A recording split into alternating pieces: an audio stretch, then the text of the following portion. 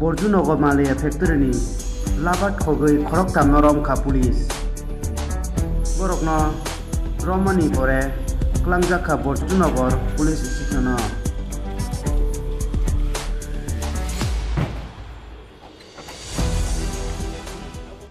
কৃষির জন্য তিন চারজনকে কেন গ্রেপ্তার করা হয়েছে এটা বুদ্ধনগর মালায়া ফ্যাক্টরিতে বহুদিন ধরে চুরি হচ্ছে। একটা চুরির কেসে কেস নাম্বার হচ্ছে বুদ্ধনগর পিএস চল্লিশ দুই হাজার বাইশ। কেসটা হয়েছে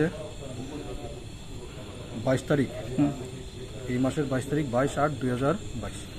এই তদন্তের মূলে আমরা এখন অবধি তিনজনকে আপাতত এখন অ্যারেস্ট করা হয়েছে। একজন হচ্ছে সুরজ দেবনা কোর্টে প্রোডাকশন করা হয়েছে এবং রিমান্ড চলছে। সুরজের কালকে প্রোডাকশন রিমান্ড প্রোডাকশন পঁচিশ তারিখ।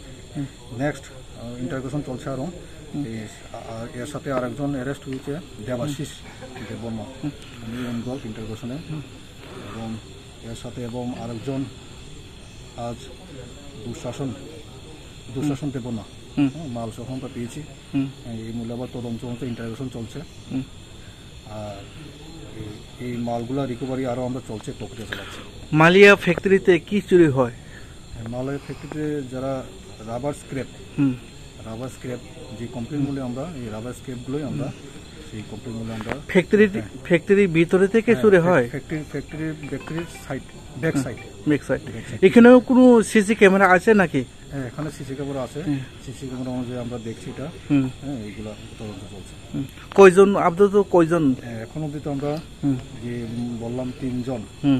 দুঃশাসন দেবন আজকে। এর মধ্যে সুরজ দেবমতো অ্যারেস্ট করেছি আমরা।